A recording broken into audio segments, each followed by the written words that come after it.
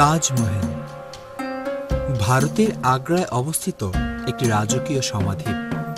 মুঘল সম্রাট শাহজাহান তার স্ত্রী আরজুমান বানু বেগম, যিনি মমতাজ মহল নামে পরিচিত, তার স্মৃতির উদ্দেশ্যে এই অপূর্ব সৌধটি নির্মাণ করেন। সৌধটি নির্মাণ হয়েছিল ষোলোশো বত্রিশ খ্রিস্টাব্দে, যা সম্পূর্ণ হয়েছিল প্রায় ষোলোশো তিপ্পান্ন খ্রিস্টাব্দে। সৌধটির নকশা কে করেছিলেন? এই প্রশ্নের অনেক বিতর্ক থাকলেও এ পরিষ্কার যে শিল্প নৈপুণ্য সম্পন্ন একদল নকশাকারক ও কারিগর সৌধটি নির্মাণ করেছিলেন, যারা উস্তাদ আহমেদ লাহোরের সাথে ছিলেন। যিনি তাজমহলের মূল নকশাকারক হওয়ার প্রার্থিতায় এগিয়ে আছেন। তাজমহলকে কখনো শুধু তাজ নামে ডাকা হয়।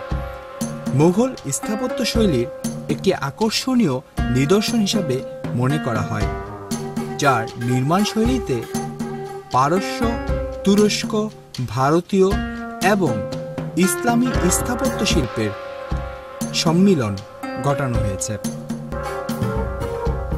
যদিও সাদা মার্বেলের গম্বুজাকৃতি রাজকীয় সমাধিটি বেশি সমাদৃত।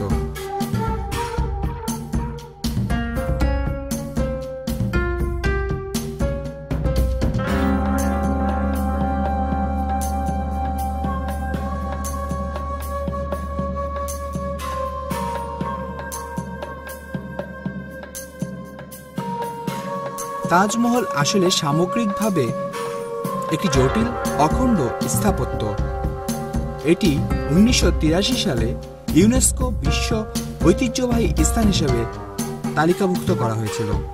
আমার এই ভিডিওটি যদি আপনাদের ভালো লেগে থাকে, অবশ্যই ভিডিওটিতে একটি লাইক দিন, শেয়ার করুন এবং যারা এখনও সাবস্ক্রাইব করেননি, আশা করি আপনারা সাবস্ক্রাইব করবেন।